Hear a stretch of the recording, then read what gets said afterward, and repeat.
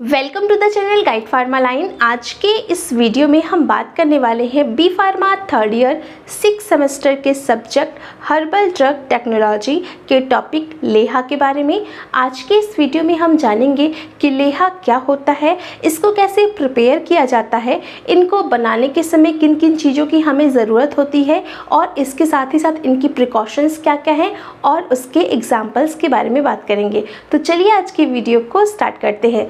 तो सबसे पहले हम लेहा की डेफिनेशन देख लेते हैं कि लेहा की डेफिनेशन क्या है। तो लेहा की डेफिनेशन क्या है? It is a semi solid preparation of the drug prepared with the addition of jaggery sugar और sugar candy and boil with the prescribed drug juice और डिकॉक्शन तो मतलब क्या है? लेहा एक सेमी सॉलिड प्रिपरेशन है। जैसे कि आपने एलोपैथिक में सेमी सॉलिड प्रिपरेशन में आप आप जो है क्रीम देखते हो, कोई भी जेल देखते हो तो वो क्या है? सेमी सॉलिड प्रिपरेशन है। कोई भी ऑइंटमेंट देखते हो। इसी तरीके से आयुर्वेदिक सेमी सॉलिड प्रिपरेशन जो होती हैं, वो लेहा। लेहा क्या है?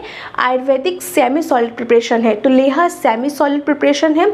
इनको बनाने के लिए हमें ड्रग जो भी ड्रग होगी प्रिस्क्राइब्ड ड्रग के साथ हमें जैगरी यानी गुड़ को यूज़ करना पड़ेगा, या फिर शुगर को यूज़ करना पड़ेगा, या फिर शुगर की कैंडीज़ को यूज़ करना पड़ेगा। इसके साथ ही साथ जब हम लेहा को प्रिपेयर करते हैं तो जो ड्रग होती हैं, जो जिस भी चीज़ का हम लेहा प्रिपेयर कर रहे होंगे, उनमें जो भी ड्रग प्रिस्क्राइब्ड होती है, उन ड्रगों के हम डिकॉक्शन को भी यूज़ कर सकते हैं, या फिर उन ड्रगों के लिक्विड को यूज़ कर सकते हैं, यानी कि उन ड्रगों के जूस को यूज़ कर सकते हैं। तो लेहा में हमें क्या चाहिए? लेहा में अपने, हमें जो अपनी ड्रग चाहिए, उस ड्रग के साथ साथ हमें जैगरी को भी यूज़ करना है शुगर या फिर शुगर कैंडी को यूज़ करना है। और इसके साथ ही साथ अगर जो ड्रग है, अगर उस डिकॉक्शन फॉर्म में है तो हम उस ड्रग के डिकॉक्शन या फिर उस ड्रग के जूस को भी यूज़ कर सकते हैं। तो लेहा की डेफिनेशन ये होती है। मतलब क्या है? ये जो सेमी सॉलिड प्रिपरेशन है लेहा की, ये लेहा का जो सेमी सॉलिड प्रिपरेशन है इनको बनाने के लिए हमें तो एक प्रिस्क्राइब्ड ड्रग चाहिए होगी, जिस भी सब्सटेंस का लेहा होगा। उसके साथ ही साथ उसको सेमी सॉलिड बनाने के लिए हमें जैगरी की ज़रूरत होगी शुगर की ज़रूरत होगी या फिर शुगर कैंडी की ज़रूरत होगी। इनमें से किसी एक चीज़ को हम यूज़ करेंगे और इसके साथ ही साथ हम अपनी जो ड्रग होगी प्रिस्क्राइब ड्रग उसका डिकॉक्शन या फिर उसको एज अ जूस फॉर्म या फिर लिक्विड फॉर्म में यूज़ कर सकते हैं, ठीक है? तो ये होता है लेहा की डेफिनेशन और लेहा क्या है? एक सेमी सॉलिड डोजेस फॉर्म है। तो लेहा में अब नेक्स्ट पॉइंट क्या है? It is also known as अवलेहा। तो लेहा को ही हम अवलेहा भी बोलते हैं। तो ये भी आपको याद रखने की ज़रूरत है कि लेहा को ही हम अवलेहा भी बोलते हैं। अब क्या है? इसके एग्जाम्पल्स देख लेते हैं। तो इसका जो पहला एग्ज़ाम्पल है, वह है चौनप्राश। तो चौनप्राश जो होता है, क्योंकि आपने चौनप्राश देखा होगा, उसमें क्या है? हर्बल मेडिसिन से प्रिपेयर किया जाता है चौनप्राश। आंवला होता है। डिफरेंट डिफरेंट मेडिसिन जो होती हैं, उनके कॉम्बिनेशन से च्यवनप्राश को प्रिपेयर किया जाता है। तो तो च्यवनप्राश का जो कंसिस्टेंसी है, वो कैसी है? वो सेमी सॉलिड कंसिस्टेंसी का होता है। तो च्यवनप्राश क्या है? एक आयुर्वेदिक प्रिपरेशन है और सेमी सॉलिड प्रिपरेशन है। और ये किस तरीके की, ये क्या है? ये लेहा है। यानी कि ये जो ये प्रिपरेशन है, ये लेहा की कैटेगरी में आएगा।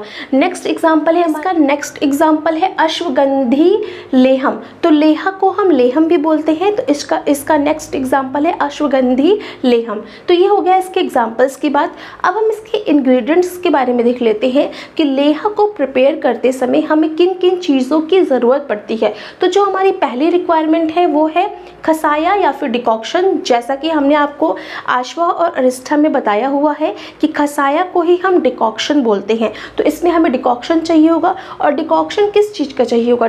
डिकॉक्शन जो होगा वो प्रिस्क्राइब्ड ड्रग का होगा। जो भी ड्रग होंगी, उनका डिकॉक्शन होगा। इसके बाद नेक्स्ट है हमारा गुड़, शर्करा और शुगर कैंडी तो नेक्स्ट हम जो चीज़ यूज़ करेंगे, लेहा के प्रिपरेशन में जो हमारा नेक्स्ट इंग्रेडिएंट है, वो है जैगरी या फिर गुड़ या फिर शुगर कैंडी जो कि हमने डेफिनेशन में भी देख लिया है। तो ये हमारे नेक्स्ट इंग्रेडिएंट होगा। थर्ड थर्ड इंग्रेडिएंट है हमारा चूर्णा या फिर ड्रग तो चूर्णा ये जैसा कि हमने आपको जो हमारी प्रीवियस वीडियो थी वो चूर्णा की थी. तो चूर्णा में क्या होता है? चूर्णा में हम जो ड्रग होती है उनके पाउडर फॉर्म को हम चूर्णा बोलते तो हैं. अब हमारा नेक्स्ट इंग्रेडिएंट क्या है? नेक्स्ट इंग्रेडिएंट है चूर्णा. तो चूर्णा क्या होता है? इस पर हमने एक डिटेल वीडियो बनाया हुआ है जो जो कि इसका प्रीवियस वीडियो था चूर्णा पे. तो चूर्णा में क्या है? जब हम हर्बल मेडिसिन का के ड्रग को हम पाउडर फॉर्म में यूज़ करते हैं तो उसको हम चूर्णा बोलते हैं. तो ये जो प्रिपरेशन है लेहा की, इसमें हम थर्ड इंग्रेडिएंट चूर्णा की डालेंगे। चूर्णा का मतलब इसमें क्या होगा कि जो भी प्रिस्क्राइब्ड ड्रग होगी, वो हम पाउडर फॉर्म में उसके चूर्ण को यूज़ करेंगे। अब नेक्स्ट है हमारी घृतिका। तो घृतिका है नेक्स्ट जो हमारा इंग्रेडिएंट है वो है घृतिका। घृतिका का मतलब घी होता है तो इसको भी हम यूज़ करेंगे या फिर तेलम। तेलम को भी हम यूज़ करेंगे। तेलम मतलब किसी भी तरीके का ऑयल अगर जो हमारा प्रिपरेशन उसमें अगर किसी भी तरीके का तैलम होगा तो वो स्पेसिफिक तैलम को भी हम यूज़ करेंगे। और नेक्स्ट इंग्रेडिएंट है हमारा मधु। मधु यानी कि हनी तो हनी को भी हम यूज़ करते हैं। तो ये वो फाइव बेसिक इंग्रेडिएंट्स हैं, जिनके कॉम्बिनेशन से हम लेहा को प्रिपेयर करते हैं। तो अब हम बात कर लेते हैं लेहा के प्रोसीजर के बारे में कि कैसे हम लेहा को प्रिपेयर करेंगे। तो इसका प्रिपरेशन का प्रोसीजर क्या है, ये देख लेते हैं। तो देखिए, जो हम, ये जो लेहा का प्रिपरेशन है, ये बेसिकली थ्री स्टेप्स से बना है और इन तीनों स्टेप्स को को करने के बाद लास्ट में हमें लेहा ऑप्टेन होता है। तो जो हमारा पहला स्टेप है, वो है पहले स्टेप में बेसिकली हम जो इंग्रेडिएंट हमारा जैगरी था, गुड़ था, उसको यूज़ करके हम फ़र्स्ट स्टेप को प्रिपेयर करते हैं। तो सबसे पहले हम क्या करेंगे, जो हमारा फ़र्स्ट स्टेप है, उसमें हम क्या करेंगे, गुड़ या फिर जैगरी को लेंगे। इसके बाद लिक्विड या फिर डिकॉक्शन को हम लेंगे तो गुड़ या फिर जगरी और लिक्विड या फिर जो भी हमारा डिकॉक्शन होगा का, उसको लेंगे। और लेने के बाद हम इनको इनको स्ट्रेन करेंगे। स्ट्रेन करेंगे और इसमें से फॉरेन मटेरियल को निकालेंगे और उसके बाद हम इस फ़र्स्ट स्टेप को कंप्लीट करेंगे। तो अब इसका प्रोसीजर क्या है? तो देखिए, गुड़ प्लस जैगरी इन दोनों में से मतलब गुड़ प्लस जैगरी ले लेके, उसके बाद अगर यहाँ पे शुगर कैंडी भी हो सकता है शुगर भी हो सकता है। उसके बाद उसके साथ हम क्या लेंगे? लिक्विड और डिकॉक्शन को लेंगे। अब इन दोनों को लेने के बाद हमें क्या करना है? इन दोनों को मिक्स करना है गुड़ और जैगरी को लिक्विड और डिकॉक्शन के साथ। ये जो लिक्विड और डिकॉक्शन लिखा हुआ है। ये बेसिकली जो प्रिस्क्राइब्ड ड्रग होगी अकॉर्डिंग टू द फॉर्मुलेशन उसके अकॉर्डिंग हमारा जो डिकॉक्शन होगा, उसको हम लेंगे। उन दोनों को मिक्स करेंगे, यानी डिकॉक्शन या फिर जो ड्रग्स का जूस होगा, उसको लेके उसमें हम शुगर या फिर जैगरी या फिर गुड़ को ऐड करेंगे। ऐड करने के बाद हम क्या करेंगे? स्ट्रेन करेंगे। तो उसको हम छानेंगे। अब किसी भी चीज़ को स्ट्रेन क्यों किया जाता है? अनवांटेड चीज़ों को हटाने के लिए स्ट्रेन किया जाता है। तो हम इसको स्ट्रेन करेंगे जिससे कि हमारा जो अनवांटेड पार्टिकल्स होंगे फॉरेन मटेरियल्स होंगे, वो निकल जाएँगे। निकलने के बाद हम हम क्या करेंगे? स्ट्रेन करने के बाद हम इसको करेंगे boil boil over a moderate fire तो पहला, इसके बाद नेक्स्ट स्टेप क्या है? Strain to remove the foreign particles ठीक है? फॉरेन पार्टिकल्स को रिमूव करने के लिए हमने स्ट्रेन कर दिया। नेक्स्ट स्टेप क्या होगा? बॉयल ओवर मॉडरेट हीट तो बॉयल ओवर मॉडरेट हीट में क्या करेंगे? मॉडरेट हीट में हम इस जो सलूशन हमारे पास आ गया था, उसको बॉयल करेंगे। तो देखिए, यहाँ पे जब हमने लिक्विड और जैगरी को डाला तो यहाँ पे एक स्टेप और आएगा मिक्सिंग का। हमें जैगरी और लिक्विड जो हमारा लिक्विड होगा, उसके साथ हमें अपने ये जो डिकॉक्शन होगा, उसको मिक्स करना होगा। उसके बाद हमें हमें छानना पड़ेगा। क्योंकि कभी कभी अगर आप गुड़ को कभी पानी में डिज़ोल्व करिए तो उसमें कुछ इम्प्योरिटीज़ आपको दिखेंगी। तो उसके पहले हम डिकॉक्शन के साथ या फिर लिक्विड के साथ गुड़ को मिक्स करेंगे। मिक्स करने के बाद हम स्ट्रेन करेंगे और स्ट्रेन करने के बाद हम इन्हें boil over the moderate fire moderate fire पे, धीमी आँच पे हम इस सॉल्यूशन को बॉयल करेंगे। अब बॉयल करने का ज़रूरत क्यों है? अब बॉयल हम क्यों कर रहे हैं? तो नेक्स्ट स्टेप क्या है? इसके बाद हम क्या करेंगे? बॉयल करने के बाद अब हम क्या करेंगे? तो देखिए व्हेन पाक is thready when pressed between the finger or when it shrink in the water without get easily dissolved, it should be removed from fire. तो जैसा कि हमने आपको बताया कि हमें इस सोल्यूशन को बॉयल करना है, इस सोल्यूशन को मॉडरेट हीट पे हमें इस सोल्यूशन को हीट करना है। लेकिन हमें हीट कब तक करना है? हमें हीट तब तक करना है जब तक ये जो सोल्यूशन जिसमें हमने अपनी ड्रग का डिकॉक्शन और अप, जो हमारा स्वीटनिंग जो मटेरियल है, यानी कि जैगरी या फिर गुड़ है, ये जब जब इन दोनों का जो हमारा सोल्यूशन है, वो क्या हो जाए, वो इस कंसिस्टेंसी में हो जाना चाहिए कि जब हम उन सोलूशन को, उस सोल्यूशन को अपने फिंगर में ले तो उस फिंगर में वो थ्रेड क्रिएट करें। जैसे कि मतलब क्या हुआ कि जब हम इस सोलूशन को लेंगे तो पाक पाक इस थ्रेडी पाक इस थ्रेडी का मतलब ये जो सोल्यूशन है जैगरी प्लस डिकॉक्शन वो थ्रेडी हो जाना चाहिए। थ्रेडी इन द सेंस क्या है कि जब हम उस सोल्यूशन को अपनी फिंगर्स से प्रेस फिंगर में लेके जब उसको फिंगर से ऐसे करें तो अब उसमें एक थ्रेड का फॉर्मेशन होना चाहिए। जैसा कि आपने चाशनी के प्रिपरेशन में देखा होगा कि जब कभी भी घर में कोई मीठा चीज़ बनता है जिसमें हम चाशनी का यूज़ करते हैं तो हम जब चाशनी जो प्रिपेयर करते हैं, उसको हम डिटेक्शन करने का यही चीज़ होता है, यही प्रोसीजर होता है। कि अगर चाशनी प्रिपेयर होने का क्या प्रोसीजर है कि जब आप चाशनी को चेक करेंगे कि हाँ ये चाशनी बन चुकी है तो उसमें हम फिंगर टेस्ट करते हैं। फिंगर टेस्ट में हम उस सोल्यूशन को लेंगे और उसके बाद उसको अपनी दोनों फिंगर से जब आप इसको इस तरीके से करोगे तो इसमें एक थ्रेड का फॉर्मेशन होना चाहिए। तो एक धागे जैसा होता है ना, इस तरीके का हो जाना चाहिए। तो अगर वो लिक्विड इतना थिक हो जाता है कि वो इस तरीके से करने से यहाँ पे थ्रेड का फॉर्मेशन हो। तो जब ये थ्रेड का फॉर्मेशन होगा तो इसका मतलब वो चाशनी प्रिपेयर है। तो यही चीज़ यहाँ पर भी है कि वेन पाक is thready then pressed between the finger जब हम इसको फिंगर के बीच में प्रेस करें तो ये थ्रेडी हो जाना चाहिए। थ्रेड का फॉर्मेशन होना चाहिए। तब या फिर when it shrink in the water without get easily dissolve तो अगर आपने चाशनी का जो टेस्टिंग होता है घरों में तो उसमें भी यही चीज़ करते हैं। या तो आप फिंगर से प्रेस कर लीजिए, या फिर उसकी एक ड्रॉप आप वाटर में डिजॉल्व कर दीजिए तो वो क्या होगा? ईजिली डिजॉल्व नहीं होगा। वो गोला सा एक स्ट्रक्चर क्रिएट कर लेगा। ईजिली डिजॉल्व नहीं होगा। बॉटम में वो सेटल हो जाता है। जब चाशनी फुल प्रिपेयर हो जाती है तब। यही चीज़ हम यहाँ पर भी कर रहे हैं। या तो हम फिंगर टेस्ट करेंगे।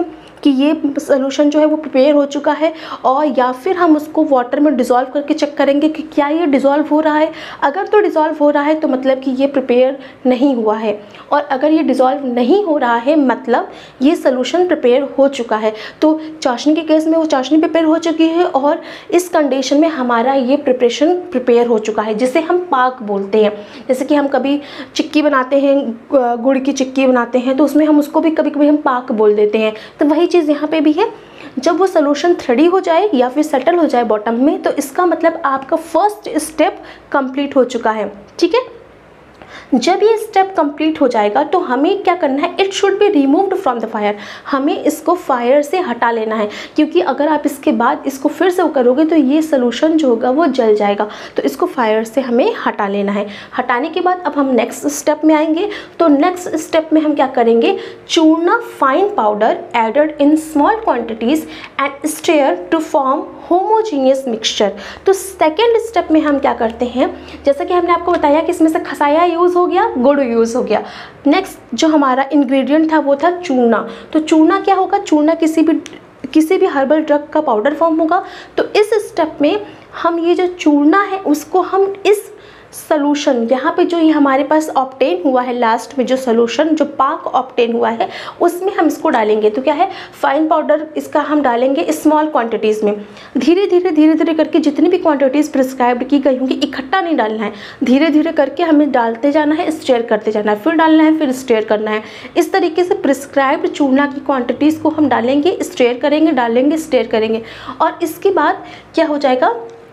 हमें करना है प्रिपेयर टू होमोजीनियस मिक्सचर यानी कि हमें इसको इसलिए हम स्टेयर कर रहे हैं कि एक समान मिक्सचर प्रिपेयर हो जाए होमोजीनियस मिक्सचर प्रिपेयर हो जाए, यानी कि वो जो चूर्ण है, वो हर जगह पे इक्वली डिस्ट्रीब्यूट हो जाए। तो इसीलिए हम धीरे धीरे उसमें से होमोजीनियस मिक्सचर बनाने के लिए थोड़ा थोड़ा लेके शेक कर रहे हैं, फिर लेके मिक्स कर रहे हैं, फिर लेके मिक्स कर रहे हैं। तो ये हम सेकेंड स्टेप में कर लेंगे। और ये जो चूना होगा, ये हर्बल ड्रग का चूना होगा, जो कि according to the formulation prescribed किया गया होगा। ये हो गया, अब नेक्स्ट स्टेप की हम बात कर लेते हैं, जो हमारा थर्ड स्टेप क्या है?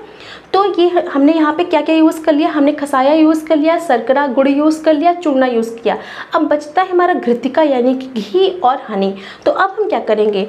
अगर अकॉर्डिंग टू द फॉर्मुलेशन घी या फिर तेल है, कोई भी प्रिस्क्राइब तेल है या फिर घी है तो उसको हम ऐड करेंगे थर्ड स्टेप में। तो तेलम के केस में क्या है? कोई स्पेसिफिक अगर ऑयल होगा तो उसको यूज़ करेंगे, नहीं तो हम घी को ऐड करेंगे। ऐड करने के बाद हमको क्या करना है? इस प्रिपरेशन को जब हम ऐड करेंगे तो हमें मिक्सिंग जब हमें घी या फिर ऑयल को मिक्स करना होगा तो हम तब मिक्स करेंगे जब ये सोल्यूशन ये प्रिपरेशन हॉट होगा। तो क्या है?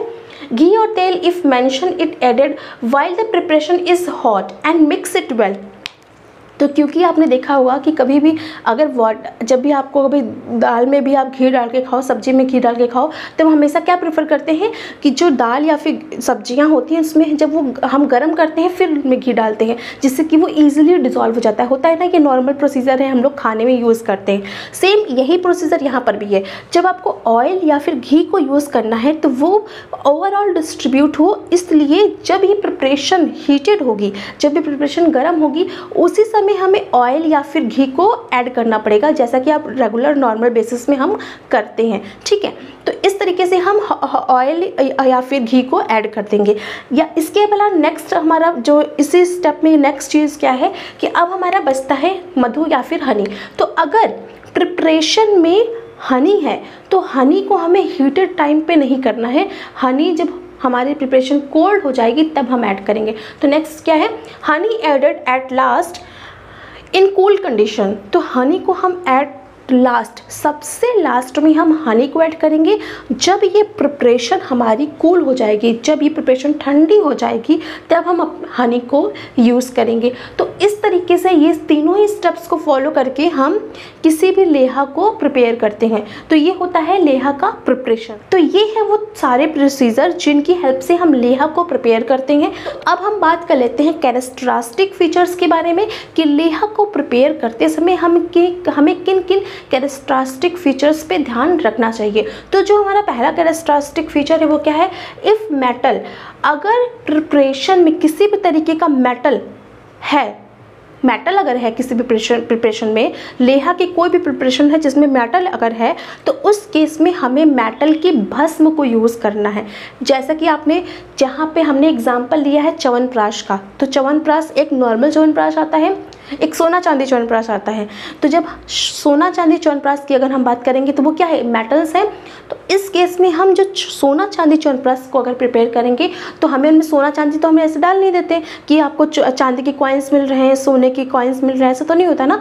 तो हम उसमें क्या करते हैं? हम उनमें सोना चांदी च्यवनप्राश में क्या होगी आपको? भस्म यूज़ की हुई मिलेगी आपको। तो अगर आपकी प्रिपरेशन में कोई भी मेटल प्रिस्क्राइबेड है तो आपको उस मेटल की भस्म को यूज़ करना पड़ेगा। जैसे कि स्वर्ण भस्म को यूज़ करोगे, सिल्वर भस्म को यूज़ कर करेंगे तो इस तरीके से हम अकॉर्डिंग टू द प्रिपरेशन जिस भी मेटल को प्रिस्क्राइब किया गया होगा, उसकी भस्म को यूज़ करके हमारी जो प्रिपरेशन है, उसको क्रिएट करेंगे।